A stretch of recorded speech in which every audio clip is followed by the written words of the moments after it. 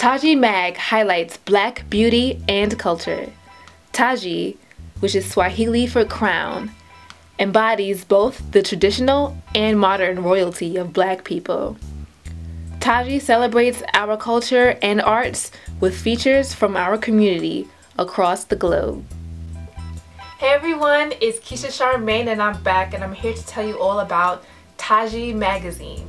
Here with me I have the two issues that I've been featured in.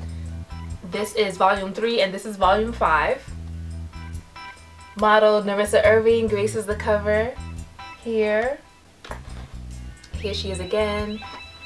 And here's my feature. My locks here were styled by Nessa of Live and Lock. She's a hairstylist based here in New York City, in Brooklyn in particular.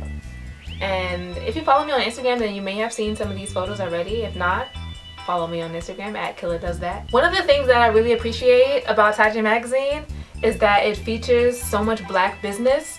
So it really gives these black business men and women a platform for you to hear about whatever they have to offer. Here's Nerissa again.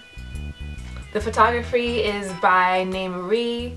She's also the creator of Taji Magazine. And here's the other issue that I have.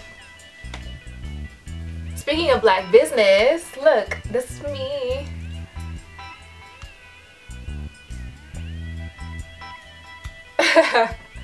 and yeah, this is on my lock jewelry business.